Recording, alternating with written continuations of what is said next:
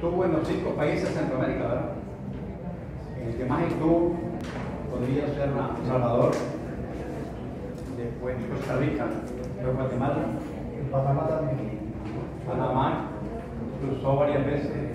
En aquel tiempo no había canal, 1907, 1893, 94. Era un ferrocarril que se hizo en 1855, imagínense.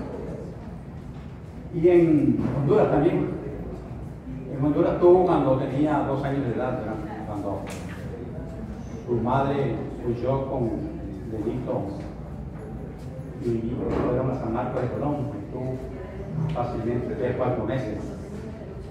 Entonces, no soy poeta, lamento, hubiera querido serlo, pero claro, ¿por qué escribí este libro? Se llama Rubén Darío, según un paisano matracal. Yo, yo no digo matagalpino porque digo que el gentilicio de nuestro departamento es indígena, no lo puedes castellanizar. Entonces, no digo que soy matagalpino, soy matagal. Así se llama el libro. Porque llamamos paisano porque él nació en ese departamento y aquí en Nicaragua. Entonces, de una forma anecdótica, escribí este libro porque creo que se aprende la historia mejor con anécdotas, se queda en la mente. Por ejemplo, este libro está dividido en tres secciones. Una, cuando él nació, allá en Metapa, 1867.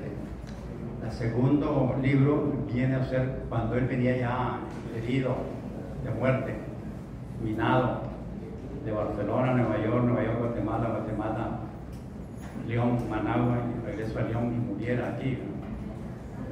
Y el tercer libro es una entrevista teórica que hago con él, una plática figurada, con que yo lo hago venir de 1914 allá a mi región.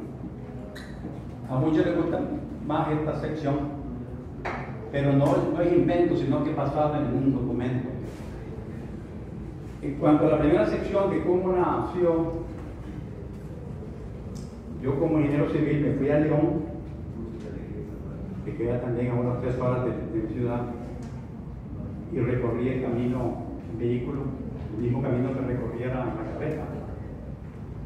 Es decir, estimé que había 28 leguas de León a Metapa y que ese recorrido, una carreta que camina 6, 7 kilómetros por hora, lo habrán hecho en dos jornadas, porque las carretas salían a las 5 de la mañana hasta las 10 de la mañana.